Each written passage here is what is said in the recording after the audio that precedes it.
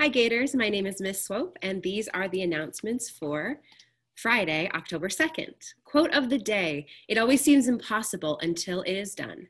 Nelson Mandela. October is National Bullying Prevention Month. PACER developed National Bullying Prevention Month to raise awareness and also to change the culture around bullying, which was historically considered a childhood rite of passage.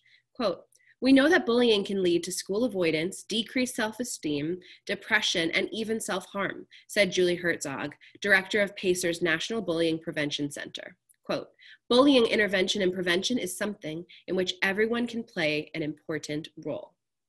Web announcement. Attention sixth graders, your first live meeting with your web leaders and your web group is today. This event will be hosted through Zoom and the invitation for your live web group meeting will be posted to your web group Schoology page. Web groups 1 through 18 will be meeting from 1:15 to 1:35 and web groups 19 through 35 will be meeting from 1:45 to 2:05. Your web leaders can't wait to meet you, so be sure to log on to your web group page and get all the information you will need.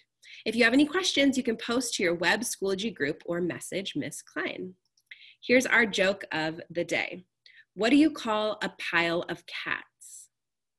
A mountain. Have a great Friday.